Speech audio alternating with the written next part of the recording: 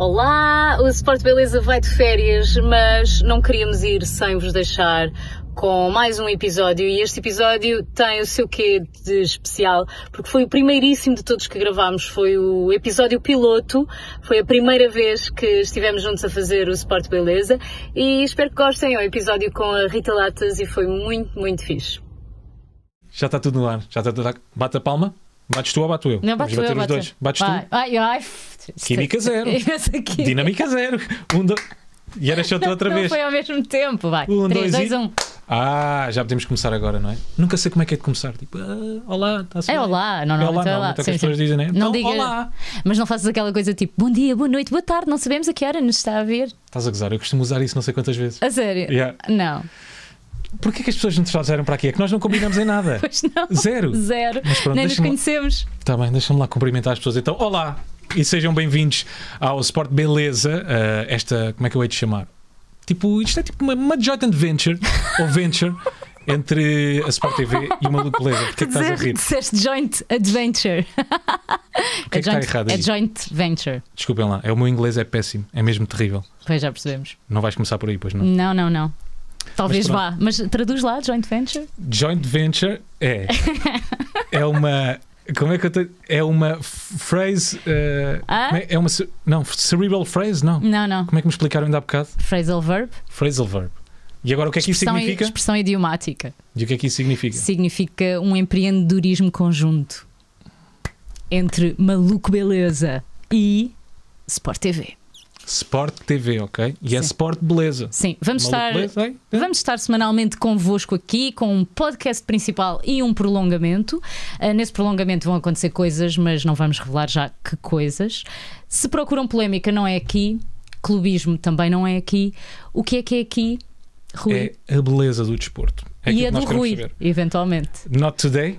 Não Not hoje, today. mas eu tenho em crer que vai acontecer um dia. Para a semana está prometido que trago. É o meu Para sonho. semana é um pozinho, isto falta-me aqui um pó. É um pó. aqui- Sim, precisamos, aliás, qualquer. de uma maquilhadora aqui para o programa. E portanto, quem é que é a nossa convidada de hoje? Já lá vamos, porque já sabem que muitas vezes o futebol e o desporto, eh, o futebol e o desporto, não, o desporto e o jornalismo, eles andam de mãos dadas, às vezes nem sequer se podem ver.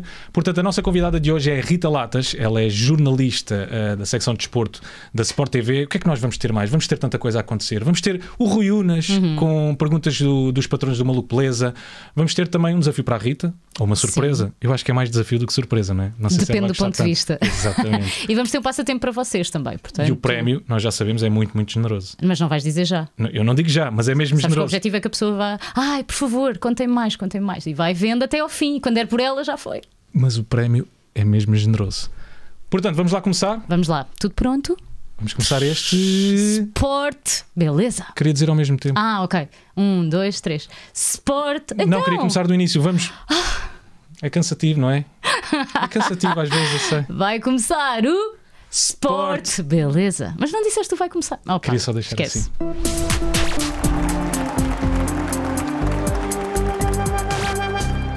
Bom, como eu vos disse ainda há bocado, como nós vos dissemos ainda há bocado, que isto é feito em dupla. Sim, sim, mas ele quer sempre Não quer deixar- ofuscar-me Não quero deixar. com o seu brilho. Hoje mais do que nunca. Esqueci de pôr maquilhagem para isto, parece uma estrela. Pios pelos motivos. Bom, a nossa convidada de hoje é a Rita Latas. Ela é jornalista da Sport TV na área do futebol. Ela foi também desportista e é a primeira mulher portuguesa a narrar um jogo da Primeira Liga. Verdade. Rita, bem-vinda. Já estás connosco? Alô! Olá, tudo Olá, bem? Filipe, tudo bem? Já aqui estou, já aqui estou pronta. Muito bem. Uh, Rita, o Rui queria perguntar-te se é preciso ter lata para ser jornalista, mas eu achei que o trocadilho era demasiado óbvio. Portanto, seguimos. Rita, É pá, sabes que esse é, é um trocadilho que eu, que eu já ouço há muito tempo, até Claro. às vezes é engates, sabes? Só que, só que deixou de resultar. Já ah, era, era essa a minha próxima pergunta. Se resultava. Pá, não, cansei, já não, já não consigo interiorizar. Mas já Muito foram bem. muitos. Aprofundamos esta parte dos engates ou não? Não Agora sei, tive não vontade. Não, deixa estar, não, tive deixa estar, podemos passar. Eu acho que passamos à podemos próxima. passar esta parte. Porque, na verdade, Sim, sim, eu tenho muita, tenho muita curiosidade sobre isto. Foi preciso alguma coragem para unir o jornalismo ao futebol ou sempre foi um sonho muito fácil de seguir? Olha, na verdade eu queria ser eh, jogadora de futebol. Isto do jornalismo desportivo surgiu depois, quando eu comecei a perceber que as coisas não poderiam resultar tão bem, até tendo em conta o contexto do futebol feminino na altura. E como eu queria uh, continuar a manter-me ligado ao futebol, achei que esta era a melhor forma de o fazer, falar de algo que eu gosto muito, ir aos estádios, falar com jogadores, treinadores, portanto, não sei se falarei em coragem, mas era uma coisa que eu aprendi, de certa forma, depois a gostar. E já estive a ler na tua biografia da Bola na Rede, já escreves ao abrigo do novo acordo ortográfico ou não? Não, odeio. Mas odeio, só se me obrigarem. Qual é o problema ali dos Epá, pés? não sei. E dos Epá, C. Dos C. há palavras que sem os P's e sem os C's para mim não resultam. Para mim não dá. Não dá. Não sei, não sei. Vocês escrevem? Eu escrevo, Sim. eu habituei-me bastante bem, por acaso. Mas eu também. Ah, mas tu Ok, escreves então com um novo Com o Sou novo acordo ortográfico. Ah, eu não, eu não, por acaso eh, todo, todo do teu lado, Rita. É, vamos fazer aqui teams. Epá. acordo ortográfico. Velho e o novo. Exata- também. exatamente. Também acho. Eu também acho. eu Oh, também Rita, mas acho. falando na, na bola, bola na rede, tu escreveste um, um artigo uh, sobre o facto do futebol feminino não ser fast food, até vou uh, citar-te. Não temos uma sociedade mentalmente preparada para optar por um jogo de raparigas. Foi por achares que isto ainda acontecia com muita regularidade que também te afastaste de- do teu percurso enquanto jogadora de futebol? Uh, não diretamente. Eu já escrevi esse texto há, há uns anos. Em talvez há 2015. três anos. Uh, Pronto, então já foi até há mais tempo do que que eu pensava.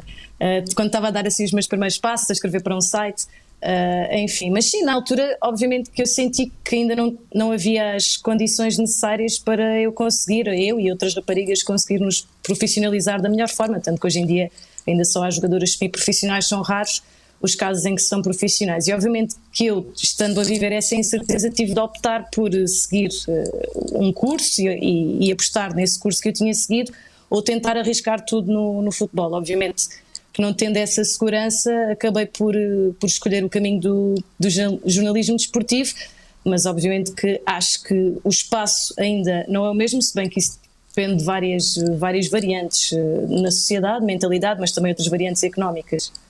E tu tra- trabalhas para que, desculpa, Rui, de- trabalhas para que essas variantes possam mudar, não é? Tens, tens também aqui um bocadinho um papel de ativista nisto do, do desporto no feminino, do futebol, neste caso.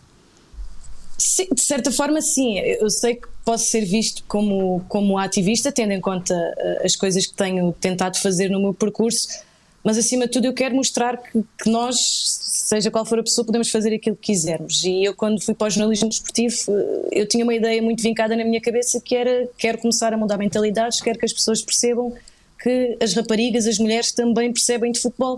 Portanto, se eu conseguir ajudar nesse aspecto, nem que seja para as gerações mais futuras que vão ter certamente mais facilidades, acho que, acho que é sempre um bom passo e uma janela de oportunidade para outras pessoas que, outras raparigas possam querer aparecer. E tu começaste a fazer isso muito cedo. Começaste a fazer esse papel vá de ativista, ainda na bola na rede. Qual é que é, quais é que são as vantagens de trabalhar num sítio com, com menos recursos? Digamos assim, se calhar acabas por ter uma liberdade maior, não?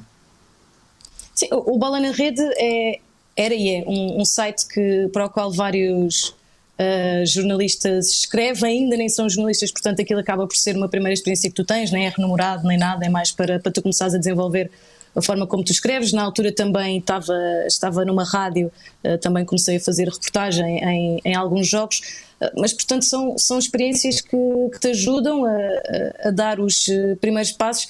Mas deixa-me dizer que eu até comecei antes, quando jogava futebol e, e comecei a jogar com os rapazes, portanto a minha luta começou logo de início. Ah. Já, já estou habituada a estas andanças. Não, não literalmente, ou alguma vez literalmente. literalmente. Epá, não literalmente. Imagina, de repente agora ela diz: que eu pá, me sim, lembro. já. Que eu me lembro, não. acho Ah, que não. muito bom. Adorávamos ter tido esse exclusivo, não era? Neste episódio. Ah, esse percurso que tu, que tu fizeste na, na Bola na Rede culmina com o prémio da Associação de Jornalistas de Desporto. Estavas lá ainda quando recebeste o prémio Revelação. Não, não, não, isso foi agora já, recentemente, Ah, ok. eh, É- estando na Sport TV, foi, foi em 2020. My mistake, portanto, a minha primeira gafa aqui. E, Recebeste esse prémio Revelação, mas achas que esse prémio também ah, pode ser considerado como uma chapada de luva branca para todos aqueles que dizem que as mulheres não percebem de futebol? Foi isso que tu sentiste ou nem sequer já, já passaste a parte da da desigualdade de, de género aqui? Eu acho que tu nunca consegues eh, passar totalmente dessa parte. Agora, se me perguntares se foi uma chapada de luva branca ou se eu vi isso dessa forma, não. Para mim foi acima de tudo um reconhecimento do meu Claro. trabalho e depois há pessoas que gostam, outras que não gostam, enfim, isso é como toda a gente, sejam homens ou mulheres. Mas obviamente pode também ajudar a que as coisas sejam vistas de, de maneira diferente. E depois desse episódio mais polémico, tu sentiste alguma pressão acrescida uh, para, para a narração que acabou uh, por acontecer? Sentiste alguma pressão sobre ti? Uh, senti que tinha mais olhos em cima de mim e, obviamente, consequentemente, acabas por ter uma, uma pressão. Eu estaria a mentir se, se não tivesse sentido, mas também acho que é bom, eu estou habituada e eu gosto de lidar com pressão. Portanto, eu gosto quando, quando desafiam e de ultrapassar esses obstáculos e de mostrar que, que sou capaz de fazer as coisas. Portanto, eu, eu, tentei ver isto de uma forma positiva, apesar de estar a sentir a pressão e estar com aqueles nervos à, nervos à flor da pele e sei lá, às vezes apetecemos chorar, mas ao fim e ao cabo foi bom, foi bom para mim. Depois há aquela coisa, eu vou chorar, vão dizer, pois, é uma mulher, mas se eu não choro, vão dizer o quê? Sim, sim, ah, sim, sim, sim, que eu não Exato. não pode. Tu acabaste tudo por ser depois notícia uh, em muitos lados, ou seja. Uhum é sinal que, que, que ainda há muito trabalho por fazer. Ou seja, porque tu não serias um homem, por exemplo, não seria notícia. Sim, sim, há muito trabalho ainda para fazer. Uh, obviamente, acho que já há algumas mulheres que fazem na Europa, no Brasil também. Houve recentemente uma jornalista que, que, fez a primeira narração para, para a Globo. Portanto, eu acho que as coisas estão a evoluir. Agora, há, há ainda muitos passos para serem dados e metas que ainda não foram uh, atingidas. Agora, acredito que se forem surgindo as oportunidades e também eh, as pessoas conseguirem e as mulheres uh, lutarem por essas oportunidades sem, sem os receios das críticas ou o que quer que seja, acho que as coisas se tornam mais fáceis. Quer dizer, nós vamos ter, estar sempre sujeitos às críticas, trabalhando em comunicação, vocês sabem isso tão bem como eu. Portanto, é, é tentar fintar essas críticas e, e continuar a fazer o melhor que podemos. E pelo menos tentar que essa crítica não seja feita por causa do nosso género ou do nosso sexo, não é? Qual é que achas que é a melhor estratégia para abrir, para abrir portas às mulheres eh, no mundo do futebol? É preciso evidenciar o seu papel, como estamos a fazer contigo também, que foste a primeira mulher a narrar, a, a narrar o jogo da Primeira Liga, ou deixá-las entrar, mas sem tocar no assunto, ou seja, normalizar a coisa ao ponto de, ok, estamos a normalizar que é uma mulher, não precisamos de evidenciá-lo. Uhum. Mas achas que ainda é preciso fazer esse trabalho? Para já precisamos ainda de evidenciar, certo? Acho que sim, acho que sim. Gostava que não, não tivesse hoje em dia de ser feito, mas acho que ainda é preciso. Acho que essa normalidade ou a forma como as outras pessoas podem olhar para isto de forma normal só vai surgir daqui a um tempo quando as primeiras mulheres começarem a aparecer e a dar os primeiros passos e a tornarem esta situação algo completamente pertencente à sociedade.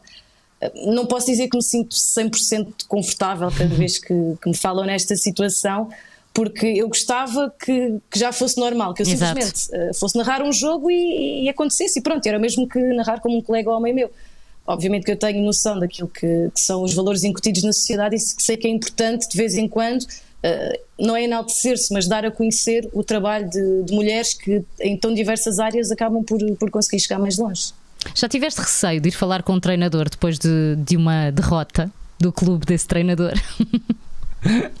É pá, já, já às vezes há treinadores que que têm assim a cara mais, Trancada. mais carrancuda. Acho que nos conseguimos lembrar de uns é quantos. Vamos logo, um ou dois à cabeça. É, e, e, vamos, e já, já me aconteceu ir com algum receio. Mas uh, tentei. Mas não, não levas okay, estratégias opa. femininas para, aqui, para o amolecer, pois não? É pá, não, pois. Não, nem resultava. Eles, eles naquela altura nem querem, nem querem saber se tem à frente um homem claro. ou uma mulher. Muitas nem levas nenhuma estratégia para os amolecer. Nada. Pá, tipo o quê? Não dá sei, ideias, um dá ideias. Não sei, entrar um bocadinho mais de mansinho, por exemplo. Uh, fazer ah, aquele sim, elogio meio discreto, sim, sabes? Sim.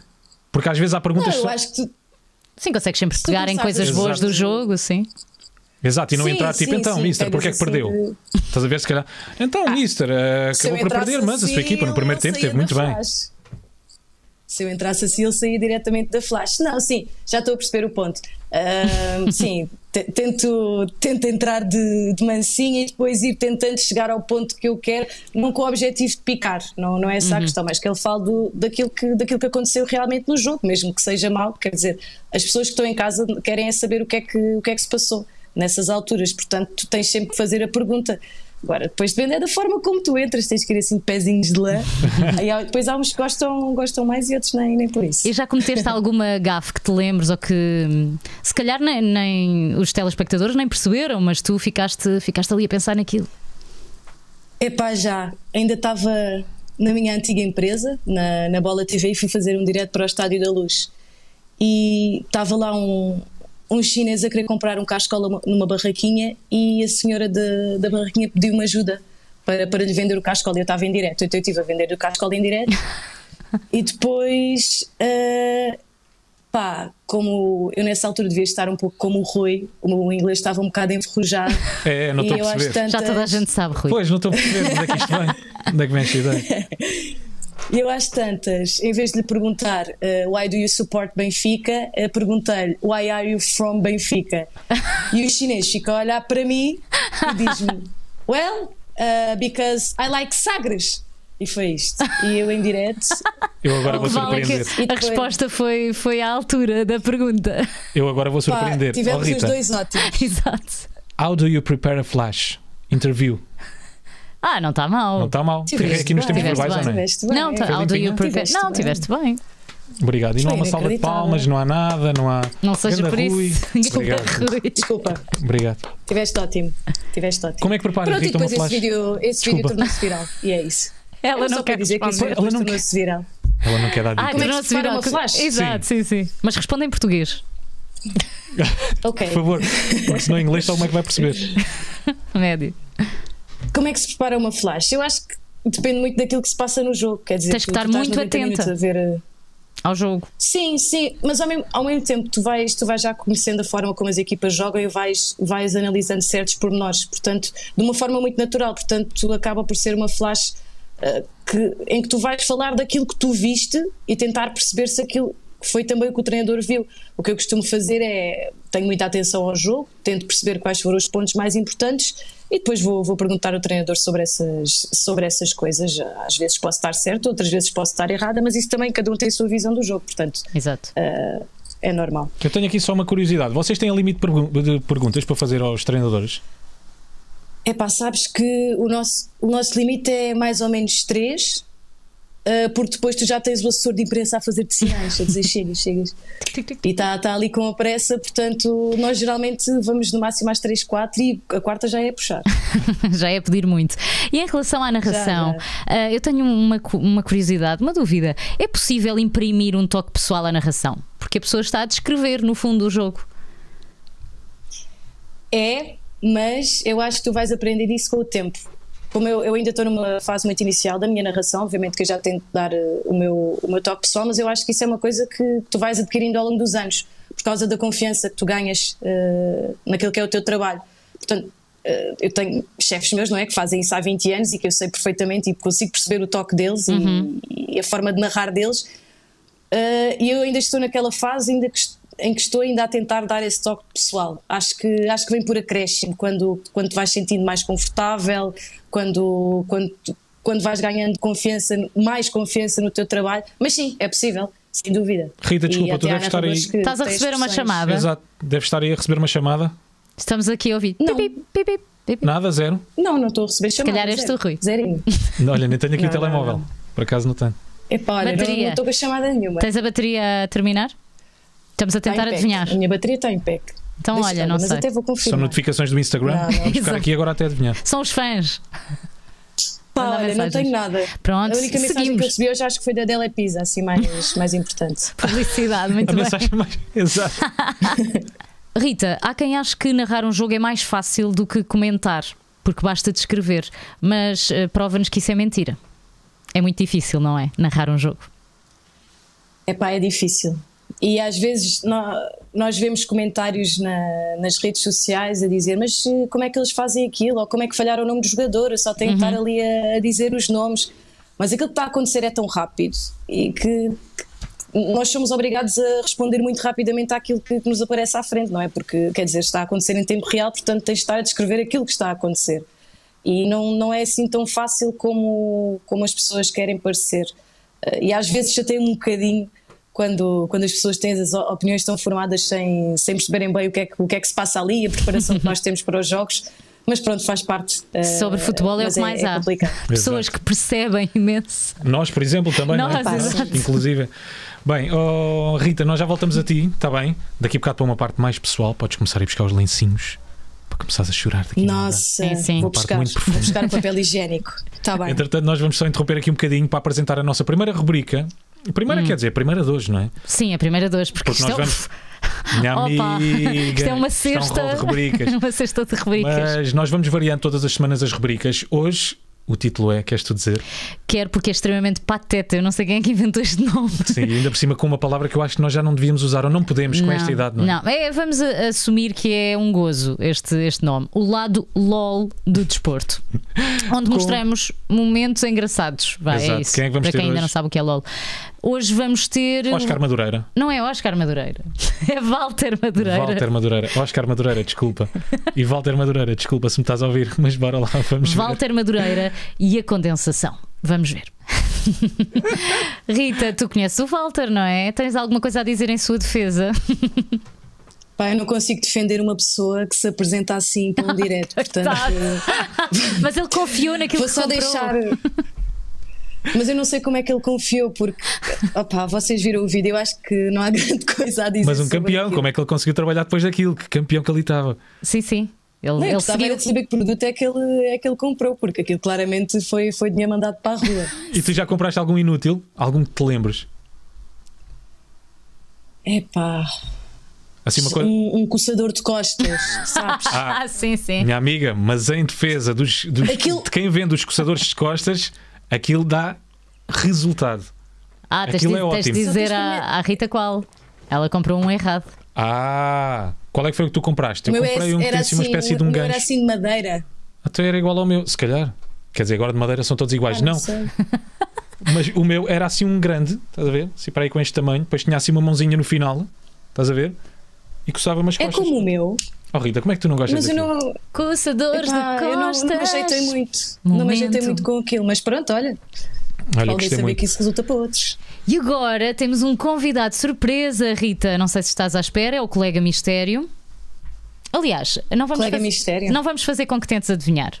Ele já está connosco, é o Oscar Cordeiro. Está a rir-se já, eu estou a ouvir. Porque ele já sabe o que é que vai acontecer. Ah, ele já sabe o que é que vai acontecer. Oscar, olá, bem-vindo. Olá, Alô, alô, Oscar. boa tarde a todos. Bem-vindo. Boa tarde. O Oscar, estás Bem. onde? Podes dizer-nos? Estou no. Vou-vos mostrar, é mais Mostra, fácil. mostra. Estou no estádio São Luís, em Faro, no estádio do Farense. Daqui a pouco vamos transmitir na, na Sport TV mais um jogo da Liga Nós e eu vou estar na narração do jogo.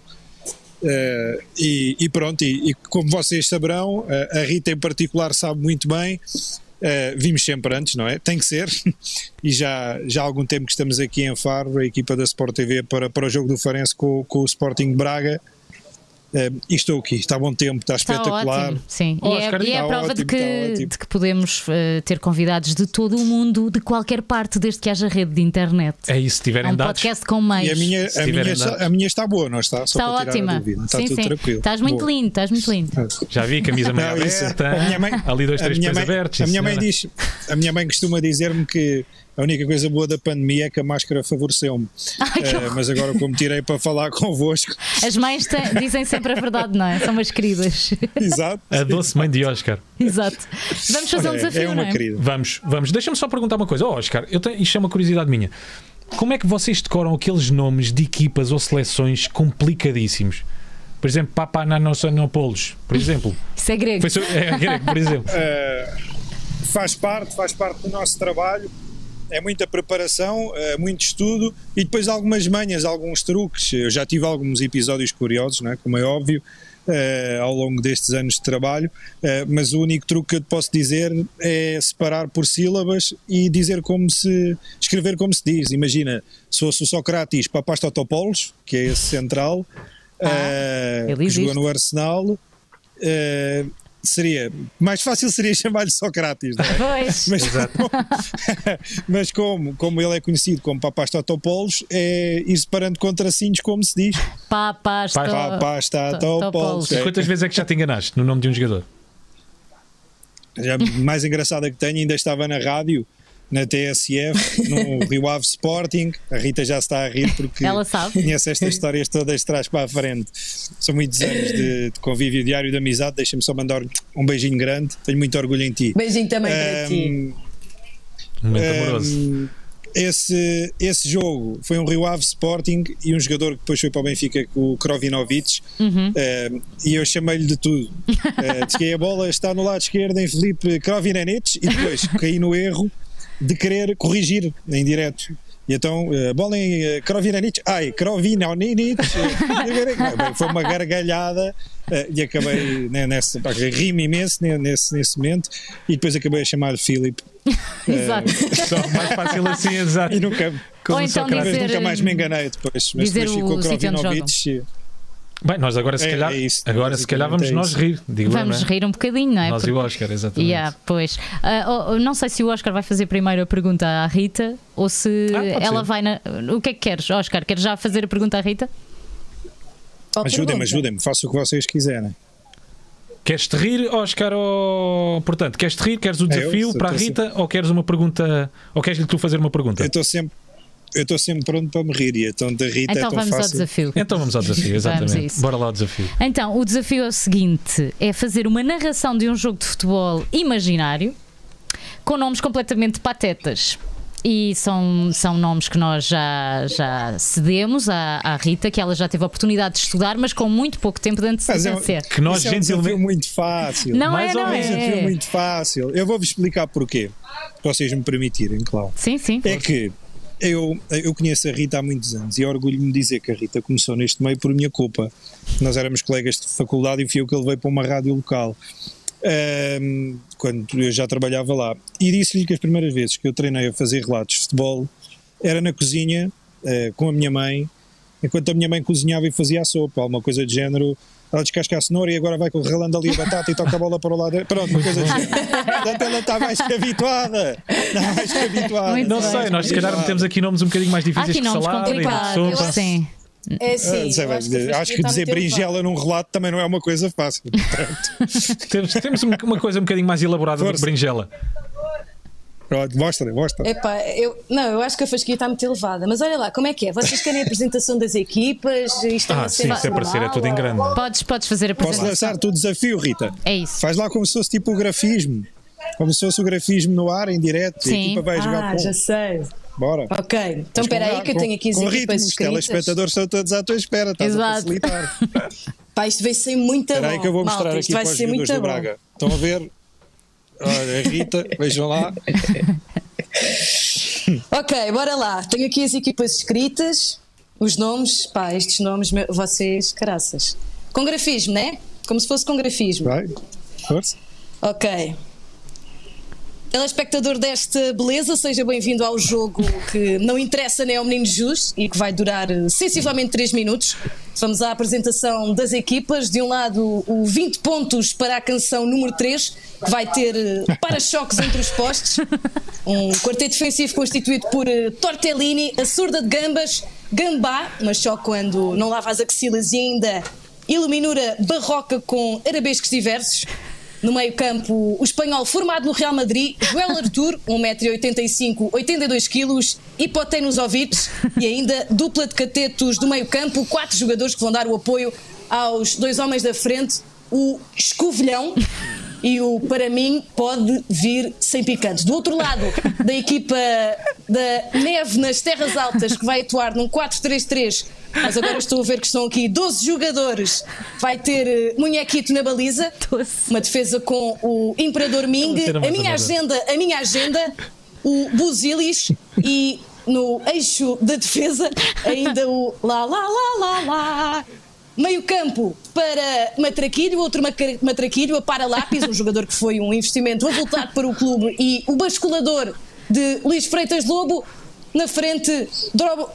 Ai, ui, Dobrolinsovski, Brócolo e ainda Saferrovics, o Sacho de mão de Alberia Velha. Não esquecer os jogadores suplentes das duas equipas. De um lado, Zaragatoa, aquele que se mete em todos os buracos, André Suadinho e Senhor Roubado. Do outro, Sinusites, Alcaparra e o grande supositório. Está do- tudo a postos para o início da partida. Começa a rolar a bola no Alqueva. Com o primeiro passo a pertencer aos 20 pontos para a canção número 3. E pô, tem nos ouvidos, vai trabalhando no meio campo, tem o apoio da dupla de catetos, mas não confia, prefere entregar a Joel Arthur. Pressão do Apara Lápis sobre um homem de 1,85m, não consegue roubar-lhe a bola. Atenção a este ataque da canção número 3, o espanhol formado no Real Madrid aproxima-se da linha final, tem já, para mim, pode vir sem picante e escovilhão dentro da grande área, chuveirinho lá para dentro, golaço! Quem marcou? Quem marcou? A limpar a defensiva adversária.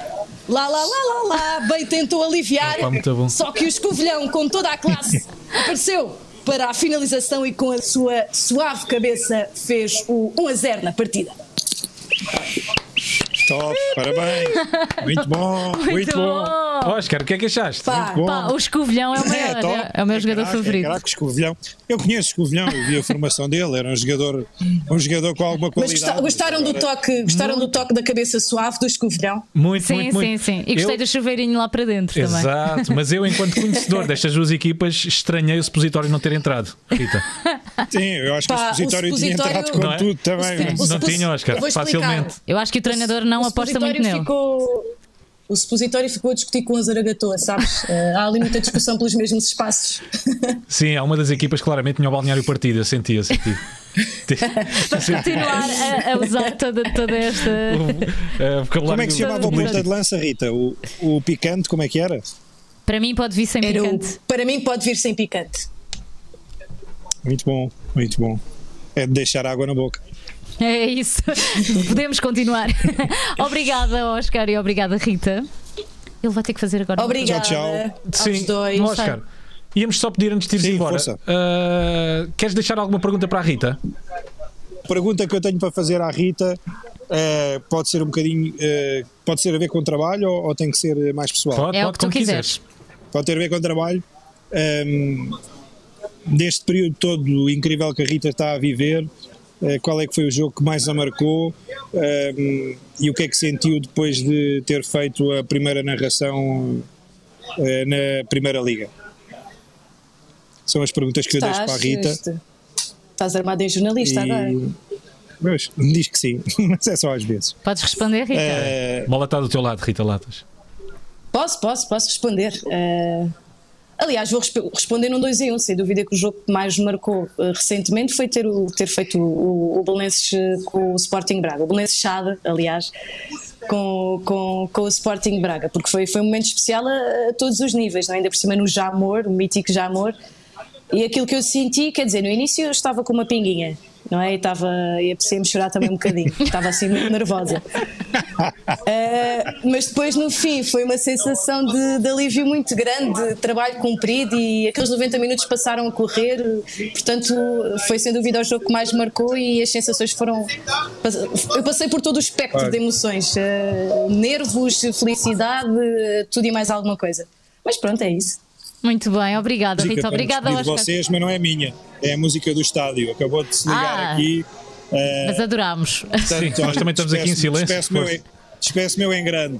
Beijinhos, Oscar. Um beijinho a todos, parabéns pelo projeto, parabéns a vocês os dois também, um abraço. Obrigado, um Rita, abraço. Gosto muito de ti, tenho muito orgulho em ti e as histórias depois. eh, Nós fazemos um briefing antes quando for para contar, para saber o que é que se pode contar ou não. Exato. Tá bem? É isso. Fica é isso, é, isso, é melhor. ter É. é melhor, é. Preferi não meter o, o, o pé na poça e vou seguir atentamente a carreira do, do jogador sem picante, está bem? No próximo programa serão Tchau, só tchau. histórias Um da Rita Latas aqui, Exato. contadas pelo Oscar. Beijinhos. Beijinhos. Tchau, tchau. Tchau. É melhor não.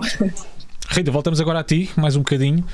Tu tens um perfil no 00, tu foste atleta, tu tens um perfil no 00 que não tem absolutamente lá nada, não diz nada sobre a tua carreira. Mas depois vamos a muitas agências tudo. noticiosas Se calhar diz tudo. e diz uma quantidade de coisas. Ah, já estou a perceber. A pergunta é: afinal, quem é que está a mentir? Jogaste futebol ou não jogaste futebol? Pá, o 00 tem ali uma falha de dados e olha que eles não costumam falhar. Mas sim, joguei. Só que tem tudo, tem tudo. Só que eu futebol, futebol só joguei dois anos. Foi, foi quando vim estudar para Lisboa aos 18 e tive dois anos a jogar futebol. O resto dos anos, porque eu fui 13 anos federada, Uh, joguei fut futsal, isto não contando quando comecei a jogar com os rapazes, que aí jogava futebol de 7, ainda em Évora, mas de resto eu, eu joguei, eu joguei quase sempre futsal e daí esse perfil estar incompleto. Mas pronto, Ah. eu vou deixar a, a nota ao 00 para ver se eles resolvem isso, porque foram muitos anos. É que tu até foste eleita melhor jogadora do distrito em 2010. Portanto, não eras uma jogadora qualquer, Foi. eras boa. Epá, eu acho que era. Esse por acaso foi um grande ano. Uh, 2010 foi, foi pouco antes de vir para, para Lisboa. Uh, eu jogava em Évora, no Juventude de Évora, futsal, ganhei esse prémio e depois ainda fui à Seleção Nacional de Sub-19, aí sim de Futebol 11. Uh, e estava numa altura muito boa, só que lá está. Depois comecei a ter que pensar na, na faculdade. Quando vim para a faculdade, ainda, ainda com, comecei por conciliar o futebol com, com a faculdade, mas depois, quando começas a afunilar a tua vida numa questão mais profissional, torna-se torna difícil de conciliar. Qual é que era a tua posição já agora? Uh, jogava médio, mais uma posição 10 ou então extremo. Ah, não eras o casteiro. Eu ia dizer que eras o trinco. Não, não era o casteiro. Epá, não, eu não era o casteiro, eu levava era com os cacetes. Exatamente. Porquê é que tu te retiras tão cedo? Porque na altura comecei, uh, portanto aos 23, comecei, tive o meu primeiro trabalho na Bola TV, comecei a trabalhar e a nível de horários era incompatível, até porque como vocês sabem, não é? Os nossos horários não são propriamente fáceis os treinos uh, tarde-noite, nós com horários de 3, meia-noite, portanto uh, não consegui ir aos treinos, aos fins de semana também trabalhava, portanto não, não conseguia jogar, então tive que, tive que tomar essa decisão de deixar. Tu sentes que a magia do futebol uh, tem-se vindo a perder? Ou seja, o jogo em si, nós queremos ver. Eu, eu, eu, pelo menos falo por mim, enquanto adepto e amante do desporto, do futebol neste caso, é, eu gosto de ver, eh, sei lá, as fintas, as jogadas, gosto de ver uhum. golos. Não, estou ali para ver uma equipa que, que joga muito Tanto gostas da Liga Inglesa, não é? É, exatamente, exatamente, exatamente. Mas ela pode confirmar, por exemplo, a Liga Inglesa é, é aquela liga que o resultado é sempre indefinido, é uma indefinição até ao final, tu nunca sabes. E depois às tantas apanhas jogos com 4-3, com, com 3-2, há sempre muitos golos. Tu achas que essa magia no futebol tem-se vindo a perder? Ou seja, dá-se mais primazia ao resultado? Que no final é aquilo que Sim, conta, sim, é? sem dúvida. Mas isso também tem, exato, mas isso também tem que ver muito com aquele que é o objetivo das equipas. Primeiro, as equipas acho que se tornaram muito mais uh, táticas do que técnicas, ou seja, nós nos anos 90 se calhar tínhamos mais os eh, Ronaldinhos, os uhum. Ronaldos que desequilibravam Exato. muito mais e que, que, davam outra magia às equipas. E hoje em dia acho que há uma maior preocupação com a parte tática das equipas de estarem uh, perceberem uh, o seu posicionamento, conseguirem responder dessa forma do que propriamente com essa tal magia que, que existia antes. Se me perguntares se sinto saudades, é pá, sinto sinto saudades de, das pessoas, de, das equipas serem, serem mais soltas, isso ainda se vê de vez em quando, lá está na, na, Premier League, mas acho que estamos a caminhar cada vez mais para um futebol muito pensado uhum. e com, com, menos coração, sabem? Acho, acho, acho que é muito isto que, que, acontece hoje em dia. Até temos um grande exemplo, o Cristiano Ronaldo, enquanto jogador, foi evoluindo muito nesse sentido. Ele Exato. era muito um jogador eh, mais de fintas e, e desequilibrador também, agora é quase só correr para a frente, passa a bola Ronaldo, faz isto, faz aquilo, um, dois passos e já está. É exato, acabou acabou por perder umas, mas ganhou outras. É isso, Rui. Não é? Agora choramos todos um bocadinho, mas o Ronaldo continua a ser o maior. Sport, beleza. Rita, muito obrigada. Ai, nada se perde. Nada. Tudo se Tudo transforma. transforma no Cristiano Ronaldo também. Amen. Está melhor. Jogo feito, nada ah, espera, mais. não é assim quando acaba, é. São dois, não é? não são... Rita, ajuda-me aqui. Não, são sete. São três, são três. Ah, são três, são três Filipe. Mas mais, mais pausado, não é? Foi o final mais frouxo de sempre. Desculpa, Rui. Faz em inglês, faz em inglês. Faz isto em inglês. The... Ah, não, mas agora vou-te surpreender. It's the final whistle. Hã? My dears. That's all, folks. This is the end, my friend. Vai. Senti aqui tive que acrescentar o My Dears. Imagina mesmo em narração as pessoas dears. dizerem lá para casa: it's, it's, it's all My Dears. Mas Dears não é tipo viados? Ou... Não, Dears é queridos. Não, isso é Dears só. Não sei se há plural. Não há, não. Eu sei. Se alguém que sabe inglês aqui sou eu. Não há plural, não. É Dears. Rita, Dears é plural. Obrigada, Rita. Rita um beijinho. obrigada, espero tenha sido obrigada, bom. Rui. Um beijinho. Foi ótimo, foi ótimo estar convosco. Obrigada. Continuem também o vosso trabalho. Obrigada. Obrigada. Tchau, Rita tchau. Latas connosco no Sport Beleza. Não se esqueçam de subscrever o canal, fazer like, tornarem-se patronos, Ai, essas coisas tão lindas. youtuber. Yeah. E agora, como é que tu fizeste há bocado? Tra traçar? Aquela coisa que tu dizes que os putos fazem. Ah, como é que foi? É... Hum, agora estou-me a esquecer. Não é? Agora esqueci. Não é assim? Minha cabeça já não é de puto, Filipe. Pois eu sei. Sabes? um dia vamos revelar a tua, a tua idade.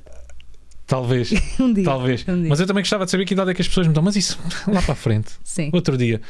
Gente, muito obrigado por terem estado desse lado. Um beijo. Um queijo. Já, ainda se diz Ia, um beijo não. e um queijo. Não, não, não, é? não, É isso e beijinhos, abraços e muitos palhaços. Não podes. E abreijos. Ai, não. Não é? Malta. Vou-me embora. Vamos Ela já não pode comigo. Não, não, não. Tchau.